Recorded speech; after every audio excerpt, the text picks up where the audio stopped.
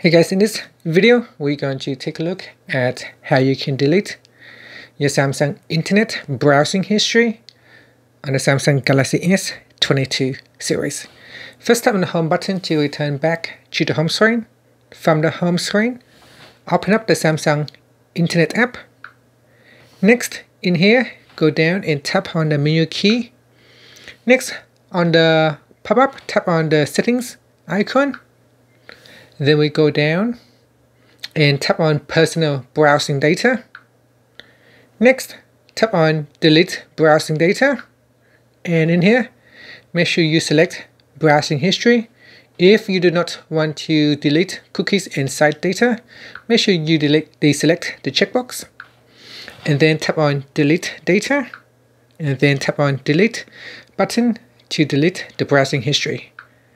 And that's it. Finally, you can tap on the home button to go back to the home screen. Thank you for, for watching this video. Please subscribe to my channel for more videos.